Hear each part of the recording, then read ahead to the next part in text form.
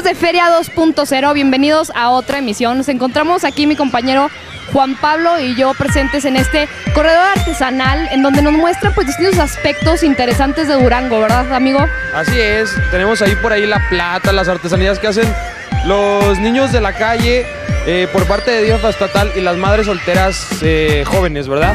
Así es, también vamos a mostrarles por parte de Seguridad Pública un concepto diferente que traen ellos hacia toda esta formación de valores en cuanto a actividades pues como el teatro, en donde pues vemos este, una obra bastante interesante. Al mismo tiempo también tenemos lo que es Amaitlán, que pues como sabemos es un concepto turístico nuevo que trae Durango muy importante para todos nosotros. Durango y Mazatlán en conjunto. Tenemos también la pared de piedra, no sé cómo se le diga, este, ya no permíteme, quiero permíteme. Eso lo voy a comentar yo porque también se encuentra Go Durango, en donde. No, no, ¿cuál córtale? Permíteme, déjenme continuar. En donde, pues, nuestro amigo, ¿verdad? Como buen. Buen deportista, buen reportero, buen, buen amigo, pues se ofreció para participar en esta actividad que nos ofrece Go Durango. Así que, pues vamos a verlo y vamos a ver, pues a Juan Pablo. vamos a verlo. Bueno amigos, seguimos en este recorrido cultural en la Feria Nacional Durango 2012. Nos encontramos con Guillermo, que nos va a explicar un poco acerca de este stand, que es la FONAR. ¿Cómo estás, Guillermo? Bien, buenas tardes. Mira, es el FONAR, es el Fondo Nacional para el Fomento de las Artesanías. Es un fideicomiso del gobierno federal, dependemos directamente de Sol. Eh, el FONAR tiene cuatro vertientes, eh, que es adquisición de artesanías, eh, apoyos a la comercialización, concursos de arte popular y apoyos a la producción. Eh, finalmente lo que se intenta con el FONAR es eh, darle el impulso, el desarrollo económico a la población de escasos recursos. En este caso se apoya a artesanos, a más de 8 millones de artesanos que están por la, debajo de la línea de bienestar, que son en zona de atención prioritaria. Eh, con el FONAR intentamos, redundo, darle el impulso económico para que los artesanos tengan una mejor calidad y calidad de vida y finalmente promover el patrimonio cultural que es tan vasto que, existe en México. Oye, Guillermo, nos comentabas que estuvieron presentes en lo que fue la G20. Cuéntanos, ¿cómo les fue? Sí, mira, eh, finalmente Secretaría de Relaciones Exteriores llevó a cabo este evento eh, nos hicieron la invitación para que eh, gran parte de las piezas que hoy ven aquí que están expuestas y a la venta en, la Feria Nacional de Durango sirviera para revestir los hoteles donde estuvieron presentes los, primeros mandatarios de, los 16 eh, países que conforman el G20 y la Unión, la Unión Europea. O sea que llegaba uno al hotel y estaba vestido de todas estas artesanías. Entonces si llegaba uno y agandallaba una pieza, te la podías llevar. Y la, Secretaría de Relaciones Exteriores lo pagaba. Eh, no tanto así. Habían, habían piezas eh, especialmente decorativas, ornamentales. Y habían piezas que sí estaban a la venta. Eh, podría llegar, no sé, el presidente de Estados Unidos, por decirlo así, sabes que estoy interesado en esta pieza, ¿no? Si la pieza no estaba a la venta, pues ya se hacía el trato con relaciones exteriores para que se pagara esa pieza y él se la pudiera llevar, ¿no? Ok, muy bien. Para que vean que el gobierno federal está apoyando la FENADO 2012. Seguimos. Amigos de Feria 2.0, ahora nos encontramos en lo que es el corredor artesanal de DIF. Eh, estamos con la señora Claudia que nos va a platicar eh, pues en qué consiste este corredor, a quienes apoyan, ya que me comentaba que es algo totalmente del municipio, ¿verdad? Sí, Este, todo lo que tenemos aquí en exhibiciones, este, son talleres que tenemos aquí en el DIF municipal. Este, es para niños de la calle, para personas vulnerables de la tercera edad, para personas de, este, para este, muchachas, eh, madres solteras adolescentes. Ellas trabajan lo que es el vitral esto y al mismo, que, al mismo tiempo que aprenden se les da una compensación a ellos. Este, estos productos que son de navajas, este, es la obsidiana y este, también tenemos lo que es la carpintería, piñata, la panadería, este, ahí tenemos recordatorios para toda ocasión este, y al mismo tiempo que, que compran cosas bonitas, pues ayudan a la gente vulnerable y son cosas que están muy accesibles, son precios muy accesibles. Y aparte muy bonitos, ya estamos viendo ahora Juan Pablo. Yo voy a comprar unos, la verdad, ¿eh? Pues esa, el, polvito ese me relajó. ¿eh? eh señora, ¿eh? Cierto, sí, cierto. Yo tengo una pregunta. La señora Tere, Tere Álvarez del Castillo, presidenta del DIF estatal, ¿cómo maneja eh, lo de la compensación? ¿Es semanal o es un salario o es por pieza? ¿Cómo es? Eh, se les da una ayuda por semana a las personas que trabajan aquí. Eh, no le voy a decir que es este muy alto, pero al mismo tiempo que ellas aprenden, este ya eh, ganan algo y ya ellos mismos pueden poner su Algo es algo. sí. Este, pues ya es todo, ¿no?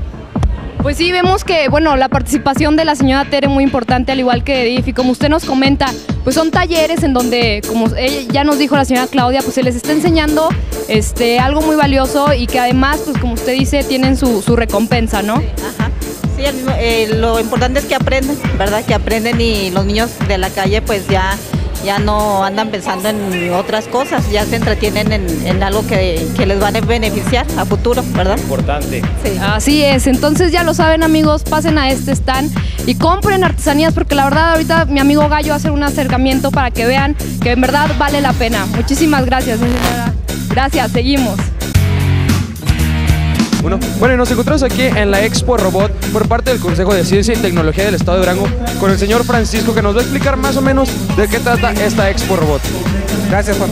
Bueno, pues bienvenidos sean todos ustedes a que estén aquí en la Expo Robot que organiza el Consejo de Ciencia y Tecnología del Estado de Durango. En esta Expo Robot, bueno, tratamos de darle a conocer al público en general los avances científicos y tecnológicos que se tienen en las diferentes áreas y universidades que existen en la ciudad de Durango. Eh, tenemos la participación de la Universidad Tecnológica de Durango, el programa de aptitudes sobresalientes de la Secretaría de Educación del Estado y la empresa Smart Cubo, las cuales que de una u otra manera tienen aportes significativos en el área de robótica aquí en la ciudad de Durango. Eh, esta tiene como fin, bueno, hacer una serie de exposiciones acerca de las disciplinas de robótica. Tenemos el robot, el- la estrella de aquí, la Expo Robot, que es el robot Now, que pertenece a la Universidad Tecnológica de Durango, que ha sido todo un éxito a lo largo de, de estos ya eh, 10 días de feria y, y que realmente es muy, muy educativo para la gente que tenía poco acercamiento para este tipo de cosas. También tenemos eh, una serie de demostraciones de dos robots Kinex que pertenecen también a la empresa Smart Cubo. Estos son manipulados por los alumnos con aptitudes sobresalientes en la área robótica. Esta empresa Smart Cubo está dedicada más que nada a la enseñanza de la robótica en el nivel educativo de nuestra ciudad y ellos están haciendo aquí unas demostraciones de todos sus productos que son están accesibles y acorde a los las familias de, de Durango. Además ellos están haciendo demostraciones y dejan que sean manipulados los robots por los chiquitines que vengan a, a visitar nuestra manera. Además tenemos dos robots Vex que son unos robots metálicos que pertenecen a la Universidad Tecnológica. Estos son robots de competencias que son manipulados, ensamblados y programados por los maestros y los alumnos de la Universidad Tecnológica de Durango. Y en fin, bueno, el Consejo de Ciencia y Tecnología lo que está más interesado es que la propia ciudadanía de la- del Estado de Durango conozca, conozca un poquito más acerca de los avances científicos y tecnológicos que se están haciendo en universidades, en centros de investigación y sobre todo en el nivel educativo aquí en la ciudad de Durango. Bueno, ahorita estamos escuchando al robot estrella hablar y la verdad es que está, está muy interesante. Esto, el robot estrella, ¿lo hacen los alumnos o ya están egresados? No, mira, este robot es, es una compra que hizo la Universidad Tecnológica de Durango. Eh, pero este, este robot tiene la gran particularidad que sirve para la enseñanza y aprendizaje de los propios alumnos de la universidad. Es una plataforma de educación.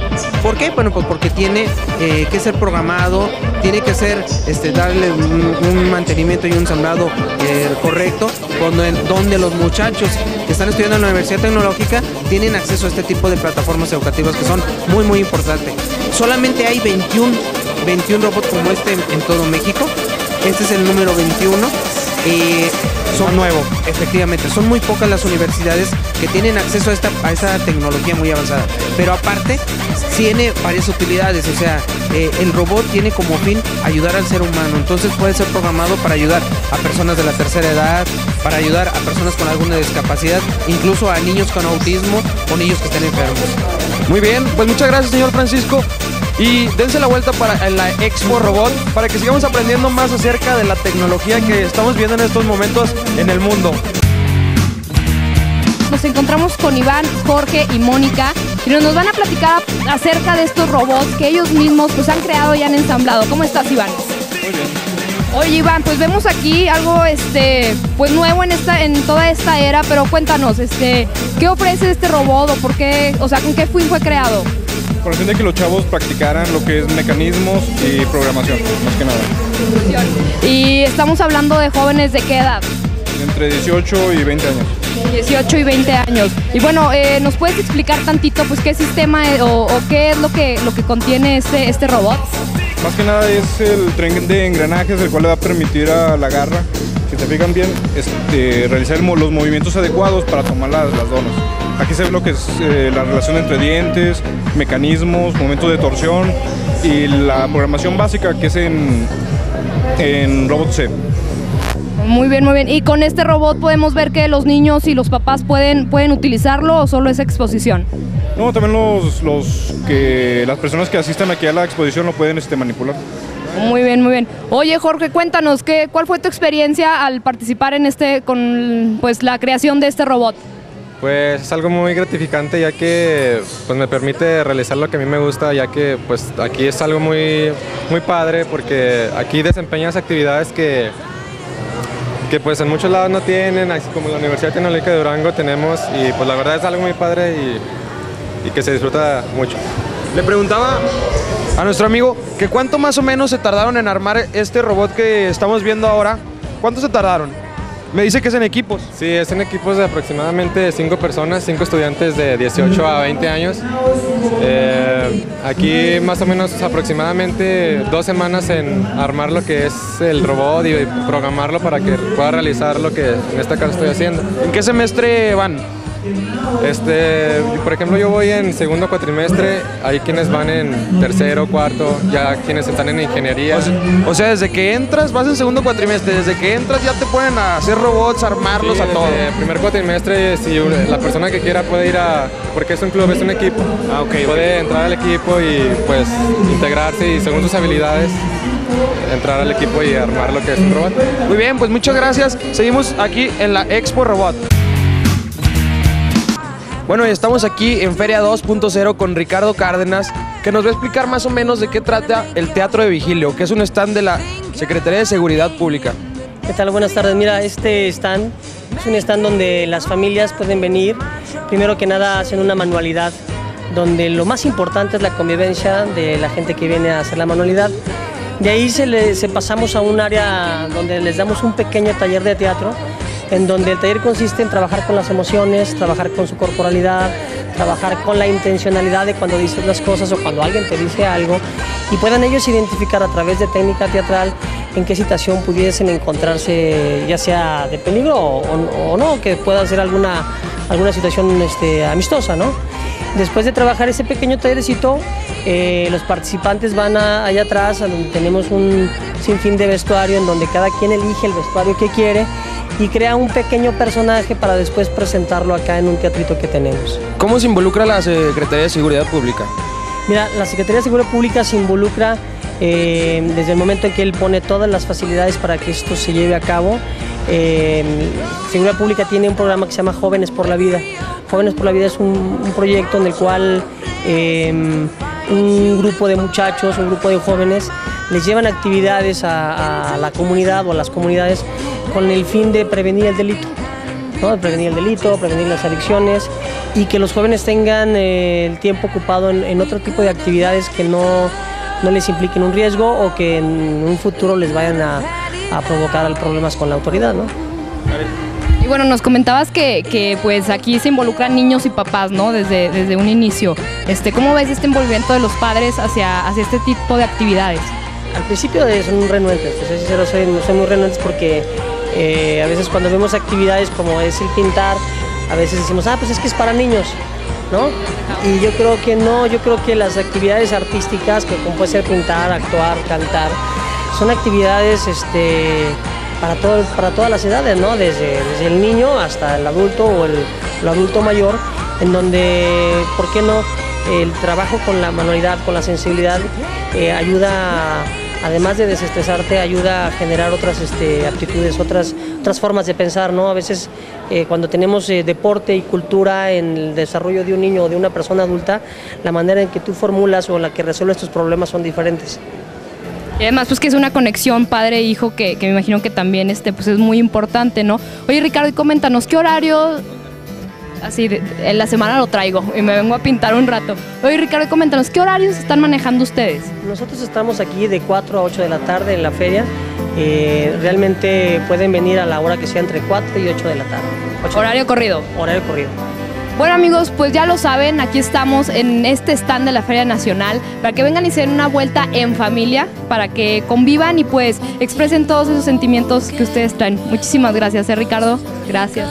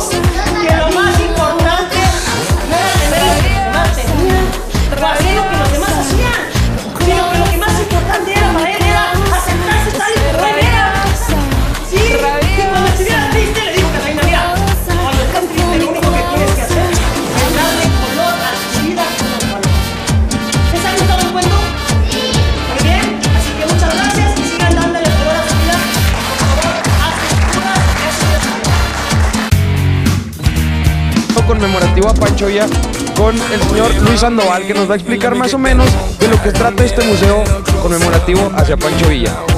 Sí, gracias.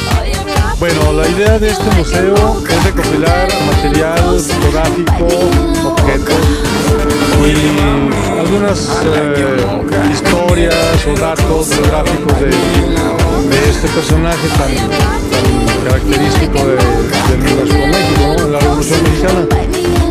Eh, es un museo itinerante que tenemos eh, como un proyecto que apenas estamos recopilando eh, una serie de, elementos, ¿no? Entonces, este, la idea aquí es que la gente conozca la historia, conozca el personaje.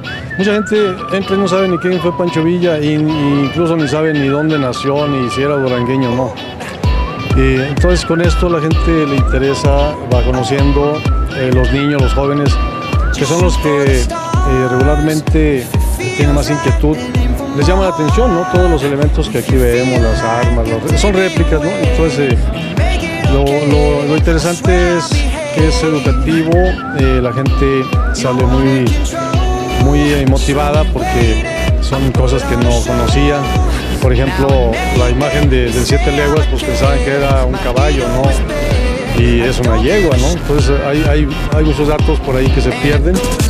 Ahí tenemos la imagen de Ignacio eh, Parra, que es, viene siendo el bandolero con el que se junta Villa eh, al, escapar de, un hecho que tuvo que huir eh, por, haber encontrado el, dueño de la hacienda mancillando a su hermana. Entonces él lo hiere y tiene que huir. Y se encuentra con este señor Ignacio Parra, pues para dedicarse al, al y al de bandolero. Y ahí aprende el oficio de, bandido. Pero luego más tarde se incorpora a la revolución porque Madero lo, lo manda a llamar y él demuestra toda una serie de, estrategias como guerrero auténtico que era, muy naturales y eso le dio un renombre, un- una, una fama inigualable, ¿no? Ha sido un personaje eh, mundialmente reconocido. La respuesta de la gente al museo de, de conmemorativo de Pancho Villa, ¿cómo ha sido? Si ha venido la gente, ¿te ha gustado? La gente puede traer sus piezas. ¿Cómo se han conseguido las piezas que hay en este museo? Bueno, esta es una colección del licenciado Gilberto Jiménez, que es el historiador que lleva a cabo este museo. Él ha escrito estos libros, Ignacio Parra, este, la, otro libro que tenemos por aquí de las, eh, de las, de la, eh, es el, ah, eh, bueno, ya tiene varias ediciones de sobre Pancho Villa y son este es- son recopilaciones, vamos, o sea, no, no, no son este, cosas que él haya inventado, ¿no? Este, y la gente llega y ve todo esto con mucho entusiasmo porque son fotografías, como le digo, no son muy conocidas. De los libros de texto aparecen a veces las más famosas, pero hay unas que, que no son muy, muy vistas, ¿no? Como por ejemplo donde está Rodolfo Fierro ahí herido. Eh, hay muchas fotografías que no conocíamos. Totalmente gratis. Sí, es totalmente gratis. La gente eh, eh, da recorrido y pregunta y uno le, atiende alguna duda, ¿no? Por ejemplo, de dónde quedó la cabeza de Pancho Villa, o este, quiénes fueron las esposas de Pancho Villa, todas esas, ¿no? Este, entonces eso es eh, muy, muy enriquecedor porque la gente sale muy motivada y, sale con mucho gusto. ¿Algo que comentar, Karen? No, pues agradecerle, muchísimas gracias y claro que a todos hacerle la atenta invitación para que pasen este museo conmemorativo a Pancho Villa, se informan y pues conozcan todo esto sobre la historia y pues pasen un muy buen rato en familia. Muchísimas gracias. Al contrario, gracias a ustedes y aquí estamos a la orden. Gracias. Bueno amigos, seguimos aquí en Feria 2.0 y ahora nos encontramos en este stand que trata pues todo el proyecto que es Amaitlán. Estamos con Mario Solís y nos va a platicar un poco sobre todo este nuevo proyecto y este nuevo concepto que ustedes traen. ¿Cómo estás Mario?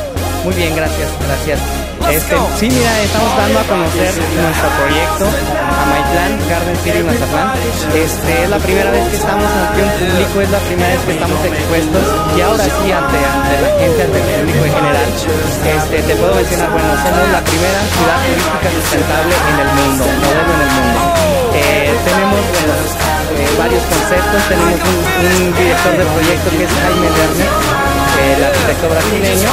Este, y bueno, dentro de los principios que tenemos como proyecto son eh, un, proyecto totalmente o la construcción de una ciudad totalmente sustentable, 100% sustentable. Eh, vamos a tener, por ejemplo, recolección de basura al 100% para reciclar. Eh, con esta con esta basura que nosotros reciclemos vamos a producir la energía eléctrica que se necesita tanto en el alumbrado público como este, en la vivienda. Vamos a tener tres tipos de, de energía eléctrica en esta ciudad nueva, que es este, energía la que vamos a producir por quema de gas eh, de la basura, vamos a tener energía solar y en menor cantidad la energía convencional. Este, es una ciudad con transportes eh, con motor a gasolina y es una ciudad dedicada eh, para el descanso y para las personas. En la actualidad, bueno, muchas ciudades están hechas más que para que los carros circulen con avenidas muy grandes, donde es muy difícil que un peatón camine, ¿verdad? Pues esta ciudad tiene como prioridad eh, el descanso y el ser humano. Sabemos que este proyecto es Mazatlán y Durango, ¿verdad? Son las ciudades hermanas. Este, ¿qué, ¿Por qué Mazatlán? ¿Qué lo distingue de los demás? Aparte de, la, de ser una ciudad sustentable que sabemos que no va a haber carros de gasolina, no va a haber contaminación. Pero ¿qué más? ¿Qué más hay en Amaitlán? Mira, en Amaitlán es un proyecto único en el mundo. Es decir, no, no, no tenemos ni comparación ni con Cancún, ni con Miami, ni con la Riviera de Mónaco. Es decir, es un proyecto único en su especie, único en el mundo. Eh, nosotros, bueno, integramos eh, muchos factores, eh, como te digo, de ecología. Uno de ellos, eh, vamos a dejar el 70% de la superficie de la isla como área verde. Es algo que no vas a encontrar en ninguna parte del mundo, en ninguna. El municipio de Mazatlán nos exige un 13%. Yo creo que si eh, dejamos un 50%, los activistas de Greenpeace nos ponen un monumento, es, es el 70%. Es un distintivo que tenemos, aparte de la sociedad que hicimos con la misma gente dueños de la tierra. Es decir, eh, nosotros como Inmobiliaria Corea, empresa duranguense, hicimos una sociedad directa con los dueños de la tierra. Ellos son parte integral de nuestro proyecto, es decir, son nuestros socios. Yo creo que esto lo hace único en el mundo. Sabemos que los ejidatarios que les pertenecen las tierras de Amaitlán habían rechazado muchas ofertas por parte de los, de los inversionistas por pues porque no les convenía o porque como tú dices no iban a dejar casi área verde más que el 13% que se les exigía y no querían eso los ejidatarios pues por eso que, que con este 70% escogen a, lo, a pues este proyecto de Amaitlán ¿no? Sí, mira, lo más importante y lo que al final de cuentas eh, eh, logró convencer a los ejidatarios, estas tierras son tierras que habían querido comprar ya presidentes de la República, eh, son tierras que había querido comprar gente de mucho dinero, no nada más de, de Sinaloa, sino de todo México, e incluso había intereses canadienses, brasileños y chinos. Cuando nosotros llegamos con los ejidatarios a hacer la negociación, nosotros no los, no los sacamos de su tierra, de su lugar de origen. Es decir, los invitamos a ser socios. ¿Qué es lo que hace una inversión extranjera o una inversión particular? Llega, te compro y te me sales de aquí, ¿verdad? En el caso de los ejidatarios. Entonces, ellos van a seguir viviendo ahí. Nosotros les vamos a construir eh, su pueblo, lo vamos a convertir en un pueblo mágico y ellos son parte, parte esencial de nuestro proyecto porque son socios reales de nuestro proyecto. Es decir, Corian se asocia con los 84, con 84 familias que son los ejidatarios de la. Te agradecemos la entrevista. Seguimos en Feria 2.0. Bueno amigos, y seguimos en Feria 2.0. Ya venimos de lo cultural. Karen, ¿y a qué nos vamos? No, ahora venimos pues a lo musical, ya tenemos aquí nuestros boletos para Río Roma. Pero primero, ¿qué les parece si vamos? Lo primero que les parece si vamos a la rueda de prensa y de ahí nos dejamos con este gran concierto de estos dos chavos. Y guapos, la verdad, no están nada mal. No podemos decir que guapos, son agradables. Tienen como que carisma, pero guapos no están. Guapo uno, guapo gallo, velo. Es más, tómate gallo, tómate solo, por favor. Agradables a la vista, y dejémoslo así. Y además se canta muy bonito, la verdad, ni para qué. Nos lo dejamos con esta rueda de prensa en este concierto aquí en la velaria de Río Roma.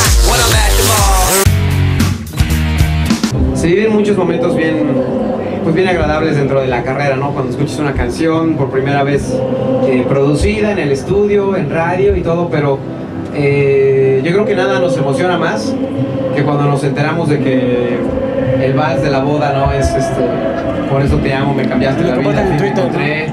Ajá, en Twitter nos, nos mandan muchos videos de eso, también la han usado mucho para, para 15 años, ¿no? Como que eh, siempre era una ilusión, ¿no? El que, el que ocuparan canciones nuestras, el que las metieran de alguna manera en un momento importante en su vida. Y es lo que más, lo que más nos emociona, porque si está pasando eso quiere decir pues que la gente está conectando con, con- identificándose con las canciones.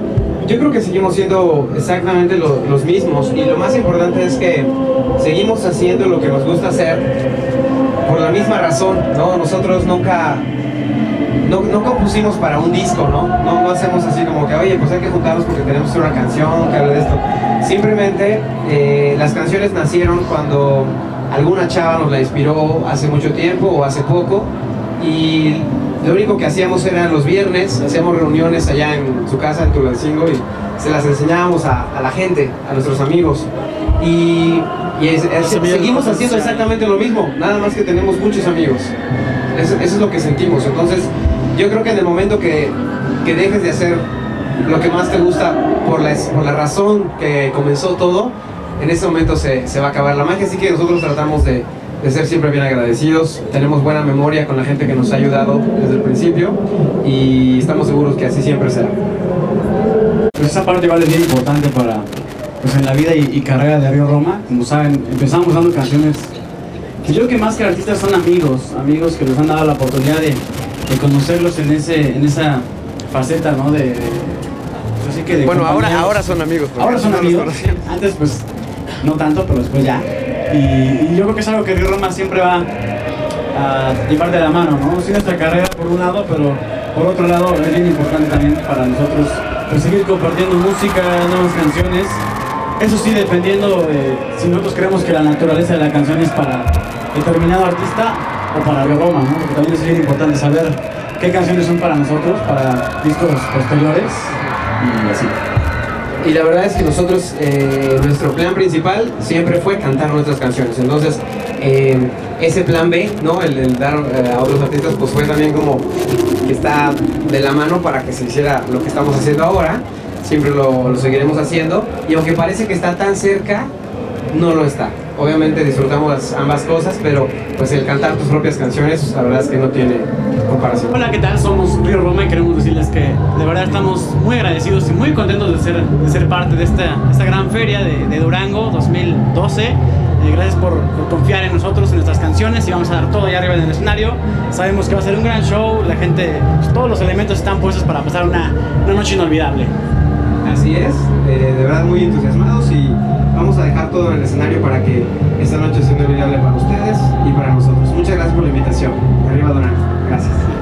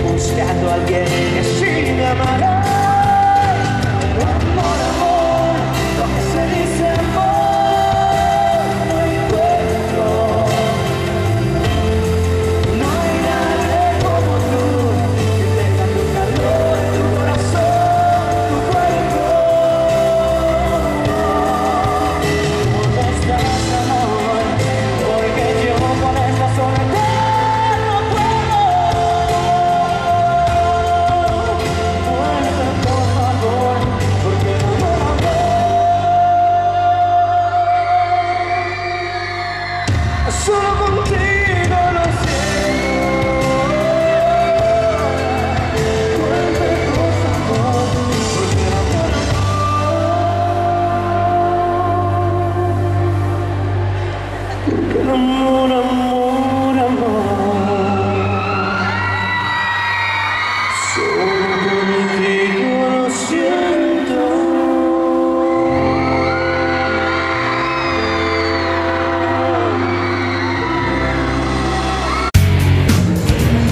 Pablo, lo que hacemos por el salario mínimo.